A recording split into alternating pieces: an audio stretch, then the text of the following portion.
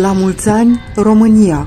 La mulți ani, români! Oriunde v-ați afla, știm că aveți în suflet o bucată din locurile natale, știm că indiferent de motivele care v-au îndemnat să plecați din țară, gândul vostru a rămas cu noi, cu părinții și bunii îngropați în acest pământ. Patriotismul nu este un sentiment care se declamă, se strigă în piața centrală sau la televizor.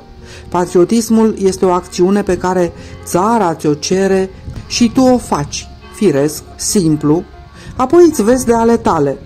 Acesta este patriotismul omului obișnuit, ca mine și ca tine. Istoria se scrie cu faptele oamenilor obișnuiți, care aflați în situații speciale pun mai presus de interesele lor interesele țării. Sunt oameni ca noi, ca mine și ca tine.